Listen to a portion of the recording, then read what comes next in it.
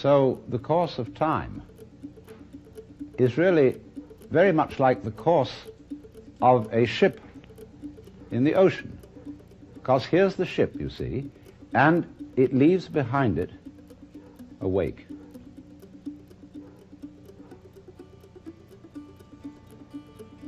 And the wake fades out.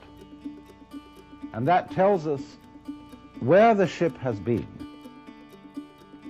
In just the same way as the past and our memory of the past tells us what we have done. But as we go back into the past, and we go back and back to prehistory, and we use all kinds of instruments and scientific methods for detecting what happened, we eventually reach a point where all record of the past fades away in just the same way as the wake of the ship. Now, the important thing to remember in this illustration is that the wake doesn't drive the ship any more than the tail wags the dog.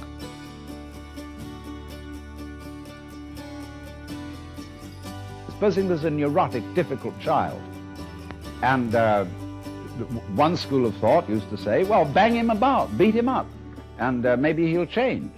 But then they said, oh no, that's not fair to the child to beat him up because it was his parents. Uh, they didn't bring him up properly.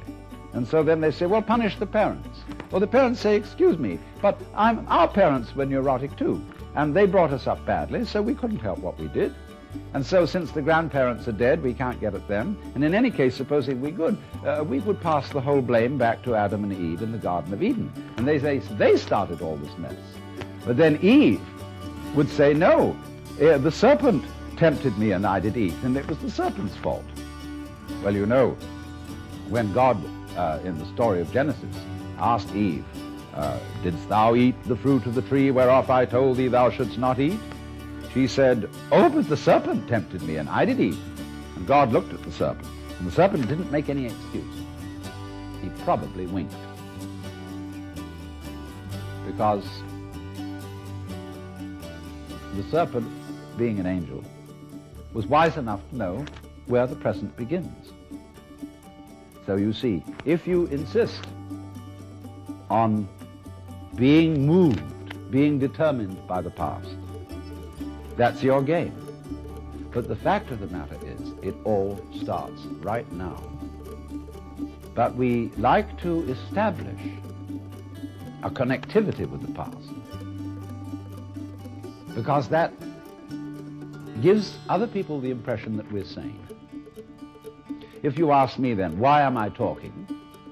Well, I could say I'm making a living this way, or I have a message that I want to get across to you. But that is not the reason.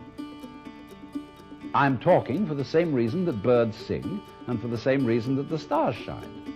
Is I, I, I dig it. Why do you dig it?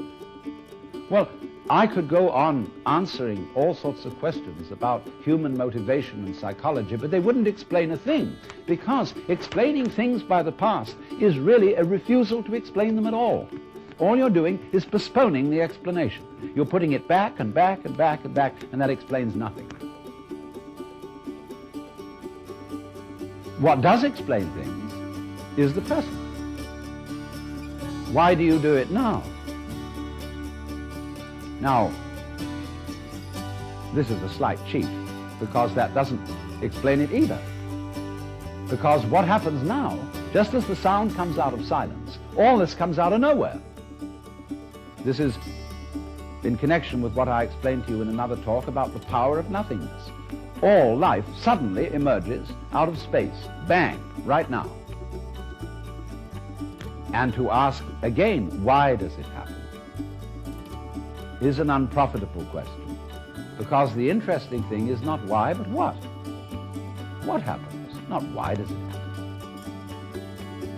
I can say, well, I am doing this now because I did that then. And so I am producing for you a continuous line of thought. But actually I'm doing it backwards. I'm doing it always from now and connecting up what I do now with what I did so that you can see a consistent story. If I define myself as the whole field of events we'll say the organism environment field, which is the real me, then all the things that happen to me may be called my doing. And that is the real sense of karma. But when we speak about freedom from karma, freedom from being the puppet of the past, that simply involves a change in your thinking.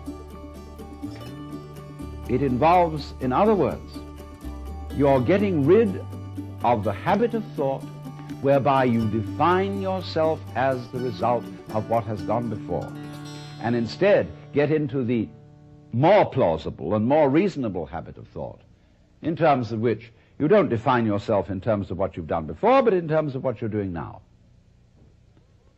And that is liberation from the ridiculous situation of being a dog wagged by its tail.